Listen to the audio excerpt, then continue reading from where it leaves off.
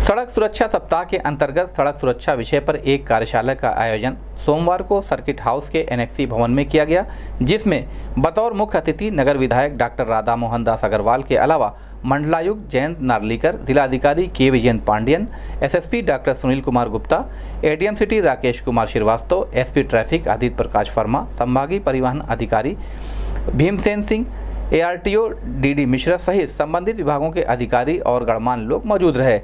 कार्यशाला का शुभारंभ अतिथियों द्वारा दीप प्रज्वलन करके किया गया। अपने संबोधन में नगर विधायक डॉक्टर राधा मोहनदास अग्रवाल, मंडलायुक्त Jayant Narlikar, DM K Vijayant Pandian, SSP doctor Sunil Gupta, SP traffic Aditya Prakash Verma RTO Bhimsen Singh ने कहा कि बीमारियों से भी ज़्यादा सड़क दुर्घटना में लोगों की मृत्यु के शिकार होते हैं। यदि थोड़ी सी सावधानी रखी जाए तो मृत्यु के इस आंकड़े में कमी लाई जा सकती है। इसके लिए हमें सड़क पर चलते समय छोटी छोटी सावधानियाँ रखनी चाहिए। जिलाधिकारी के विजयन पांडे ने लोगों को जागरूक करते हुए बताया कि सत्रह जून से बाईस जून तक सड़क सुरक्षा सप्ताह मनाया जा रहा है। उन्होंने कहा कि आज के परिवेश में स्पीड कंट्रोल की बहुत ही आवश्यकता है। लोग दुपहिया चलाते समय हेलमेट अवश्य पहने तथा चार पहिया चलाते समय सीट बेल्ट ज़रूर लगावें। वरिष्ठ पुलिस अधीक्षक एवं आरटीओ ने भी लोगों को सड़क सुरक्षा एवं सड़क दुर्घटनाओं से बचाव के बारे में विस्तार पूर्वक जानकारी दी।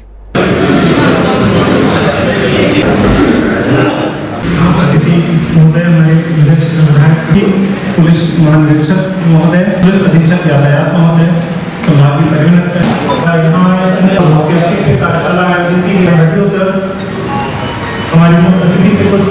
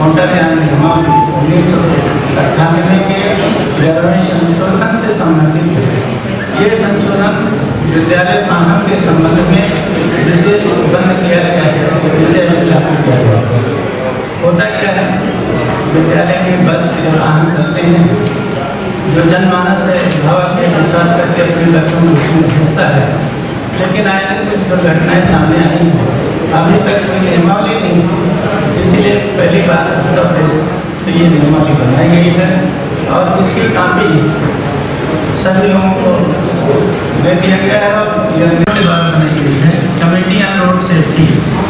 और उसके कि विगत त्रैमासिकी, अक्टूबर सन दो हज़ार अठारह का जनवरी से लेकर मार्च दो हज़ार अठारह के बीच में बयासी लोगों की मृत्यु हुई थी।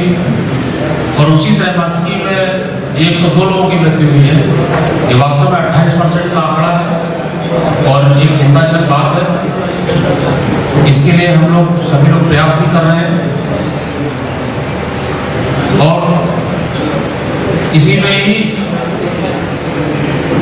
आज ही हम लोगों ने डिसाइड भी किया है कि इस कार्य के लिए आयुक्त महोदय द्वारा दिए गए दिशा निर्देश वरिष्ठ पुलिस अधीक्षक महोदय और जिलाधिकारी महोदय द्वारा दिए गए दिशा निर्देश के अनुपालन में हम लोग ग्रामीण क्षेत्रों में अब तक तो हम लोग शहर में ही मैक्सिमम अपना इम्फेसिस रखते थे दुर्घटना से बचाव से संबंधित जागरूकता के विषय में लेकिन हम लोग ग्रामीण क्षेत्रों में भी यातायात के संबंध में प्रचार प्रसार है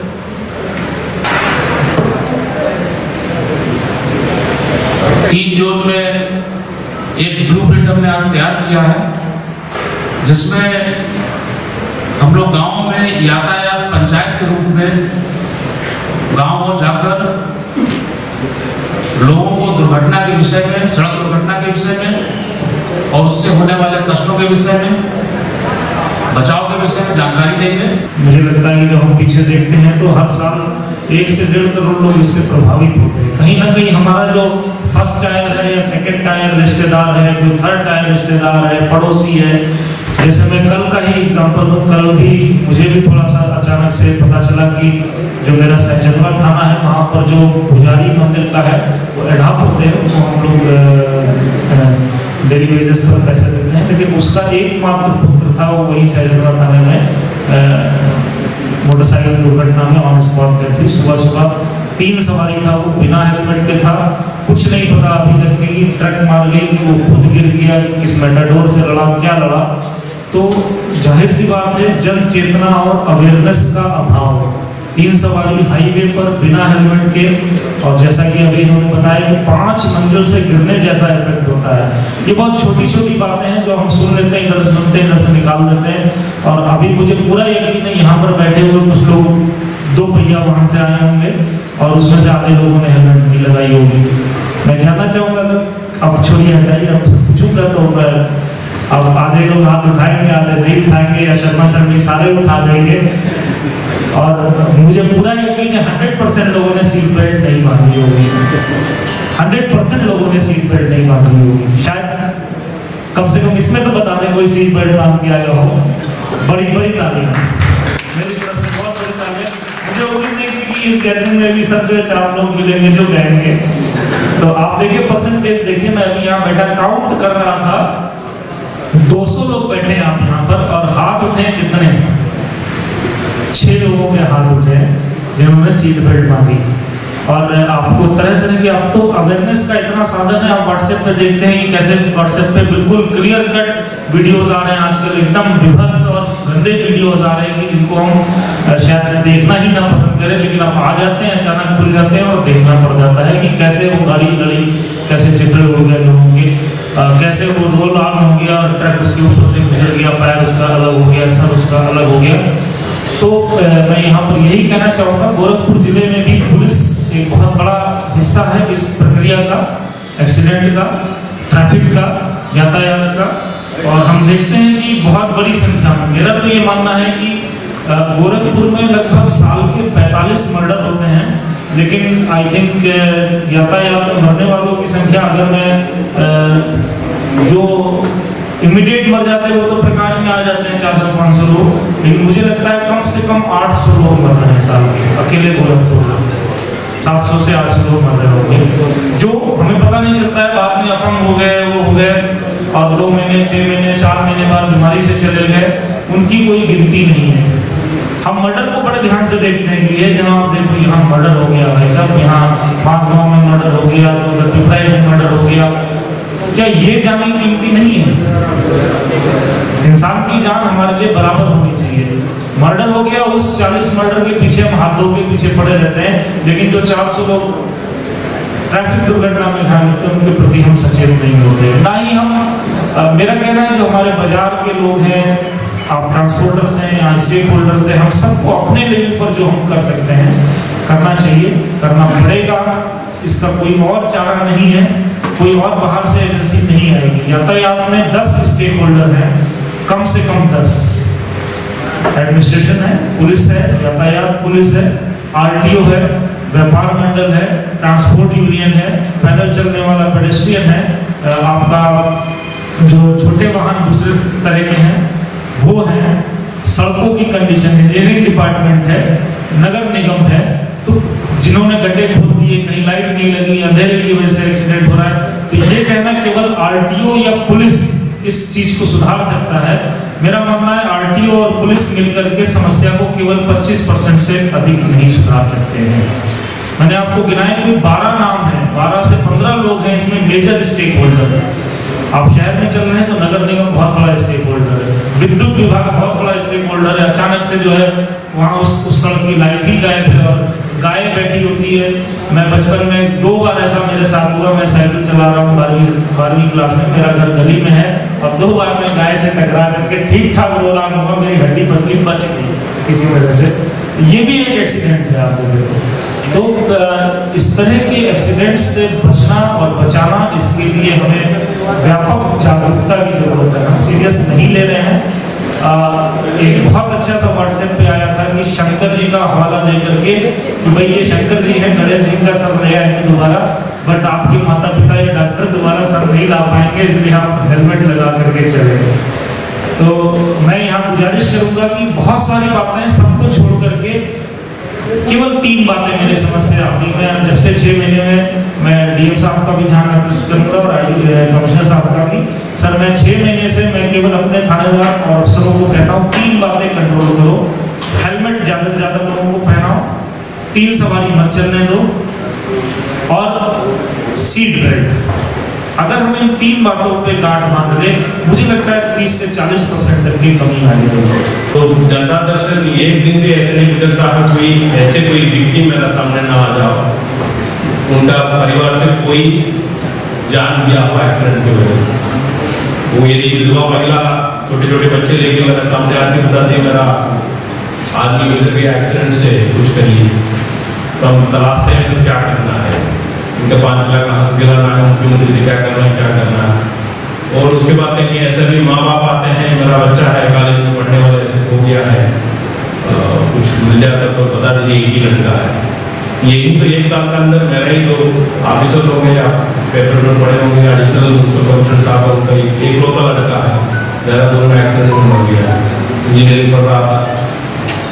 मतलब हमारे कर्मचारी भी तो अब तो वैसे कप्तान साहब भी रहते ऐसे ही हम तो हम रोज ऐसे नहीं है, एक दिन भी नहीं गुजरता मेरा ऐसे कुछ ये नहीं और दूसरा कप्तान साहब, हम हम लोग तो कहीं कहीं बड़ा घटना होता है तो दुखद घटना तो जाना पड़ता है। तो देखने में तो कप्तान साहब कह रहे थे, ऐसे ही आप देख, देखने में नहीं होता है। मतलब वो हम पहचान नहीं पाएँगे तो आदमी है या वो कोई चीज़ है। मतलब ऐसे चीज़ हम लोग के सामने होता है। फ़ोटो कभी आप व्हाट्सएप में देखे होंगे, कैसे होता है किसी आदमी जान होने के बाद। यदि तो मान लीजिए जान नहीं गया है, तब भी तो कोई, उनका कोई शारीरिक अंग गया है, और कोई तो नहीं तो पूरे, उनका ज़िंदगी ऐसे विकलांग तौर से गुजरना होता है। क्यों? एक सेकेंड का, एक सेकेंड का गलती होती है उनको भी गलती नहीं, इसलिए एक्सीडेंट कहते हैं। उसको तो देखिए, जो मारने वाले का सजा नहीं मिलता है। तीन सौ चार बी के अंदर है, वो आराम से छूट जाता है। जो कोई मारता है, कोई सजा नहीं है ताकि एक्सीडेंट नहीं जानबूझ किया नहीं है। इस पे जो आप अगर ना तो ज़्यादा से ज़्यादा पीछे पड़ेंगे उनको अधिकतम सजा तीन साल का है वो कहीं होता नहीं। तो वो ज़्यादा से ज़्यादा तीन हज़ार रुपये जुर्माना पड़ा करके आ जाता है। और उतने होता है। तो तीसरा चीज़ है फुर्सत मिलता तो बी आर मेडिकल कहीं ट्रोमा सेंटर जाके देख लीजिए। हमेशा हम लोग ऐसे कोई दिन नहीं गुजरता है, जो टू व्हीलर बंदा शराब पी के गिर गया मर गया, नहीं तो एक्सीडेंट हो गया, अगले दिन तो लाश पड़ी है। ताकि ये पेपर में छपती नहीं है। पेपर में जब छपता है कोई चीज़, दो, तीन, ज़्यादा मल्टीपल में जो कोई व्यक्ति जान गया हो, नहीं तो ज़्यादा बड़ा घटना हो गया, तब ये न्यूज़ में आता है। कोई चीज़ न्यूज़ में आता ही नहीं आपको नहीं पता होता है तो हम लोग पता रहता है। नौजवान लड़का के गया है तो गिर गया है मर गया। एक एक व्यक्ति का होता है। वैसे तो आप लोग सामने गिर रहे सही ना है। मेरा अनुभव तो मैं ट्रांसपोर्ट विभाग में भी अच्छी हिंदी के रूप में एक साल में काम किया हूँ, जहाँ परिवहन निगम में था। उसमें हम लोग यहाँ सरकारी बस सब में जो हम लोग स्पीड कंट्रोल करने के लिए व्हीकल मॉनिटरिंग डिवाइस भी लगाया था, इसलिए तो पहले से देखे होंगे तो सरकारी जो गाड़ी का हम लोग के समय में हमें तो मेरे को दो हज़ार चौदह, पंद्रह से मुझे दो साल रहा उसके बाद अच्छा खासा से हम लोग उसको घटा दिए ताकि जो भी ड्राइवर साठ किलोमीटर के स्पीड से ज़्यादा जाता है तो हम लोग अलर्ट मैसेज आ जाता है। अगले दिन उनको हाजिरी कर देते हैं। उनको तो गाड़ी नहीं देते तो पूरा अलर्ट मैसेज आ जाता है कौन सी कौन सी ड्राइवर किस तेज़ी रफ्तार में जा रहा है।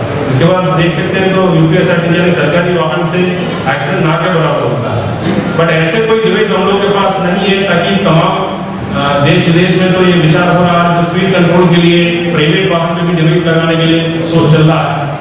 बट देखिए मोटर माफिया तो बहुत बड़ा माफिया है। कहीं कहीं तो सरकार का कंट्रोल में नहीं रहते। आपका स्पीड देखे होंगे तो गाड़ी का आपको 300 तक स्पीड रखते हैं। 300 कहीं तो 250 300 जो आप फोर व्हीलर टू व्हीलर आप देख सकते हैं, डेढ़ सौ, दो सौ तक स्पीड रख के आजकल कितने सीसी का two fifty CC three hundred CC का बाइक दे रहे हैं। बट हम लोग का रोड उस लायक नहीं है।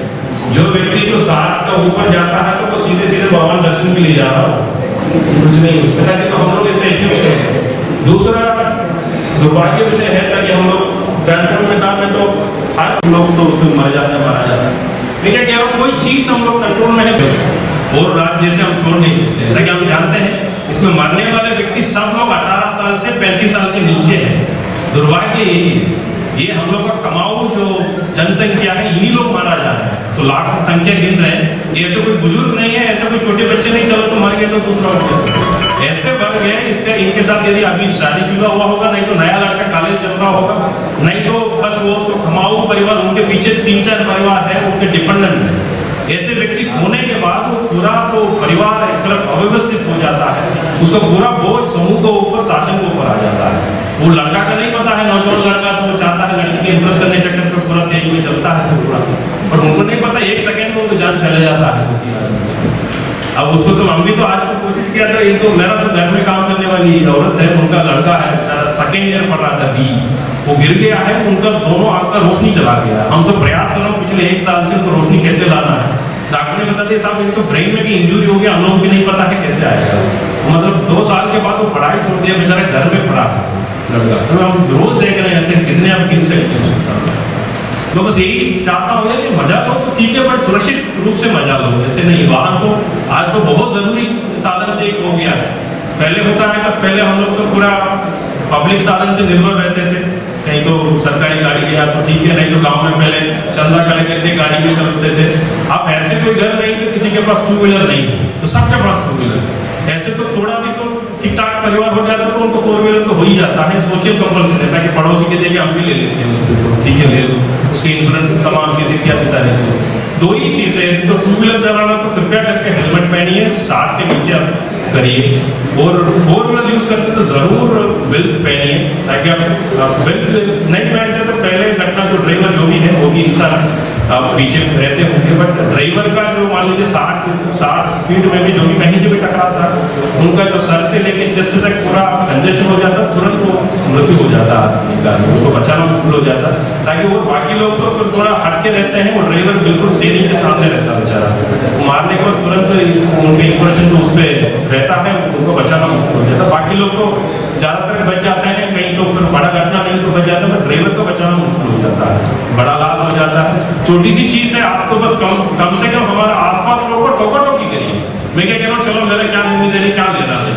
आपका बच्चे होंगे, पड़ोसी होंगे, जान जान पहचान कोई होंगे, ज़रूर बताए भाई हेलमेट भी अच्छा डिज़ाइन का आ रहा है के घूमो अच्छा लगता है। वो जो एक्सीडेंट से वो सबसे ज़्यादा इसका मतलब ये हुआ कि एक्सीडेंट से जो डेथ हो रही है, वो सबसे ज़्यादा डेथ हो रही है। और इस पर जितना हमारा ध्यान जितना हमें चेतन मन से काम करने की ज़रूरत है, वो नहीं जब मैंने आज से 16 साल पहले नौकरी ज्वाइन की थी सर्विस ज्वाइन की थी, तब भी हमने ये ट्रैफ़िक पखवाड़ा मंगाया और आज भी मना हैं।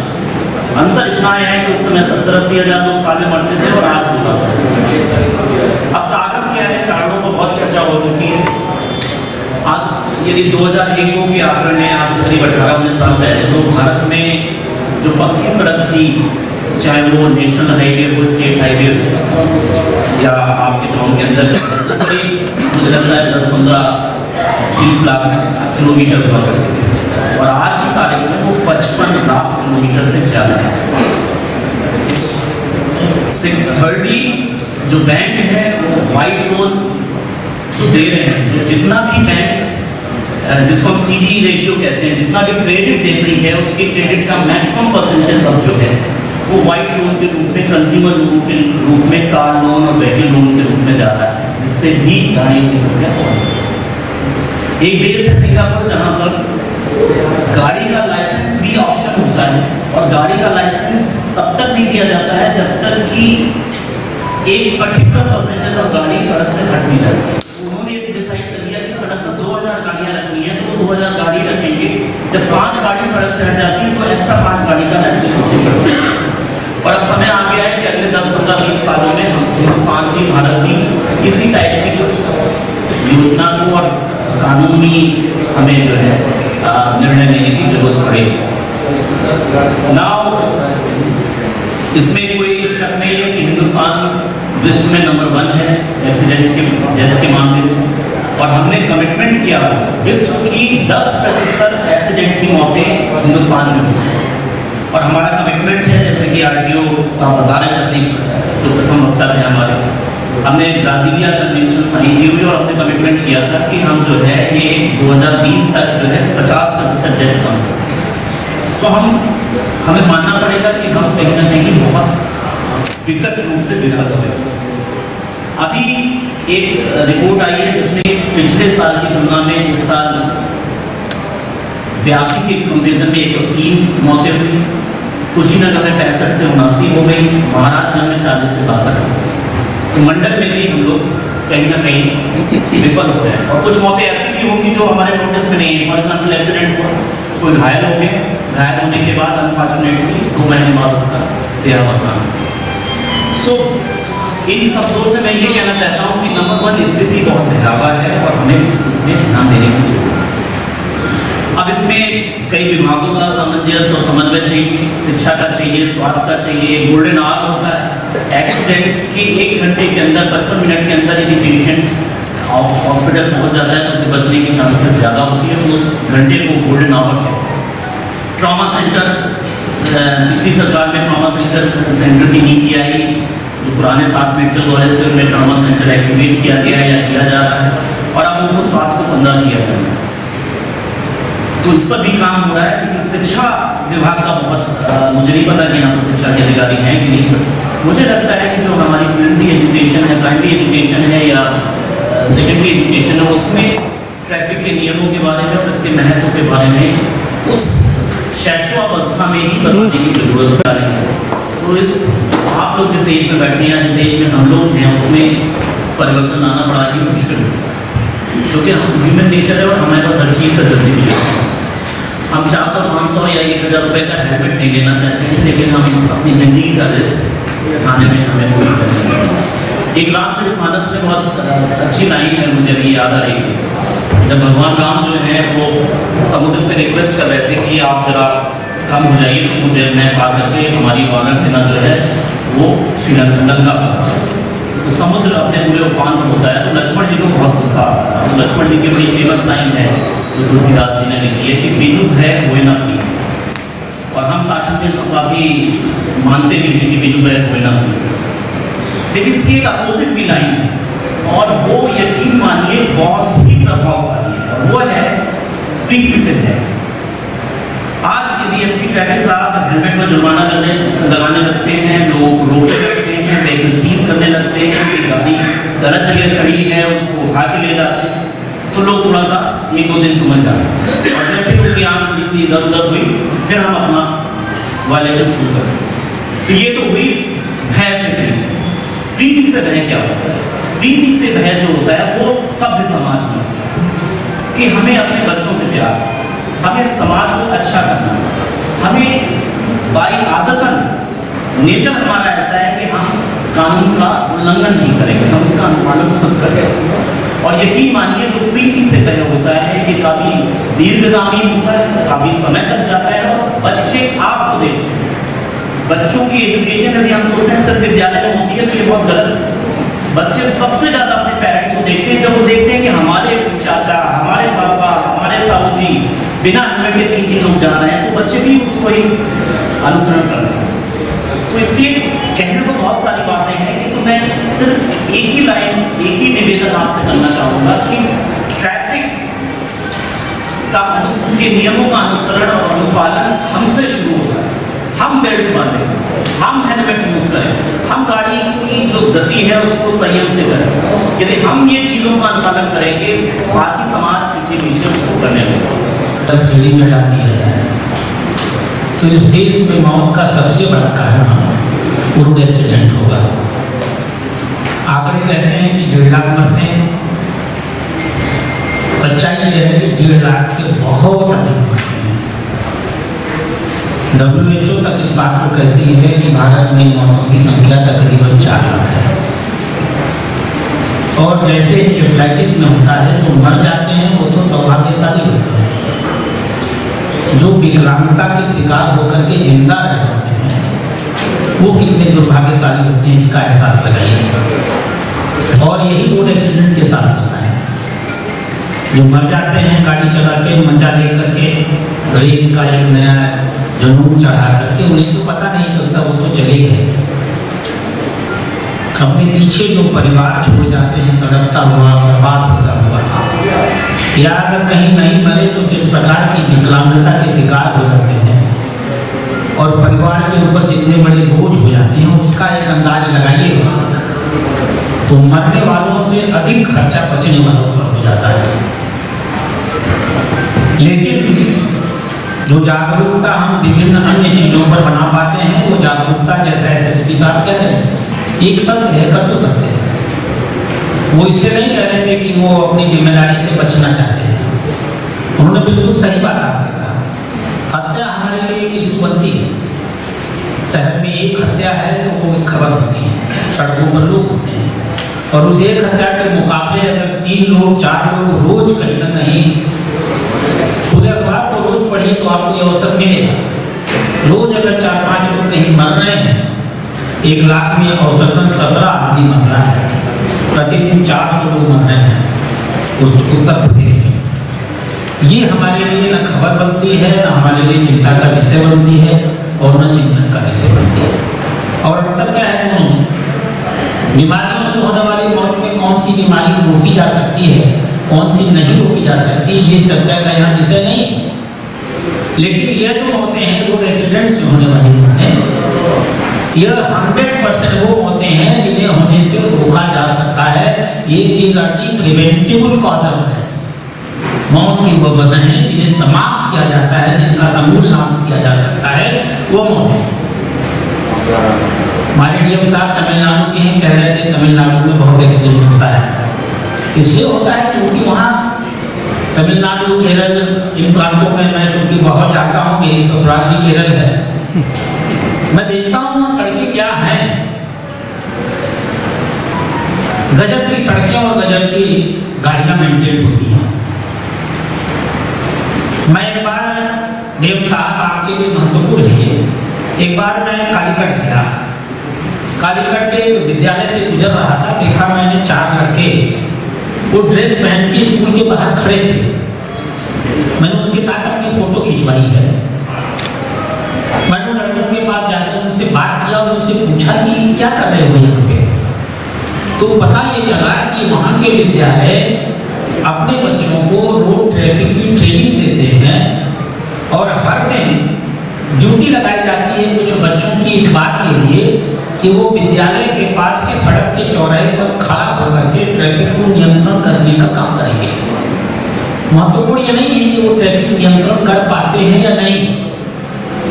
महत्वपूर्ण यह है कि जो हमारे आरटीओ साहब कह रहे थे हम उनके जेहन में जब वो बच्चे थे, तभी इस बात को डाल पाते हैं कि जीवन में ट्रैफ़िक का महत्व क्या है? ट्रैफ़िक नियमों को पालन करने का महत्व क्या है? जीवन के खतरे का अर्थ क्या है? और किस प्रकार से छोटी छोटी घटनाओं को हम होने से रोक सकते हैं? मैंने अपनी आँखों से कालीकट में इस बात को देखा है।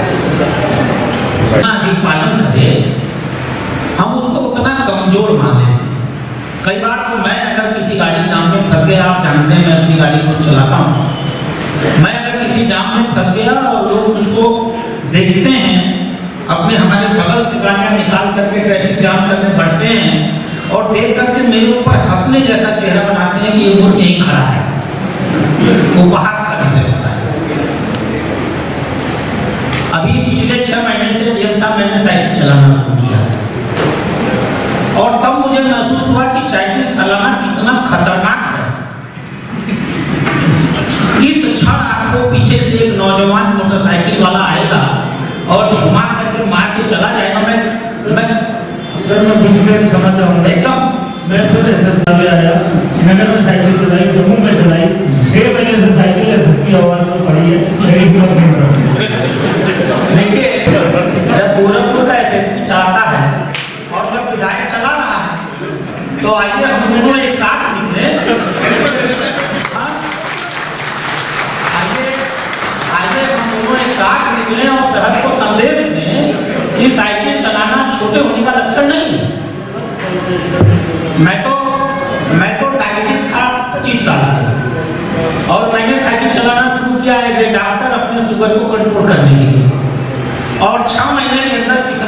मेरे अंदर आया है। मुझसे बेहतर कोई नहीं जान सकता। मेरी आवाज़ बदल गई बॉडी लैंग्वेज बदल गई, मेरी सक्रियता बढ़ गई, इसलिए क्योंकि मैंने बिना दवा के अपने एक्सरसाइज और साइकिल के बल पे शुगर कंट्रोल कर दिया।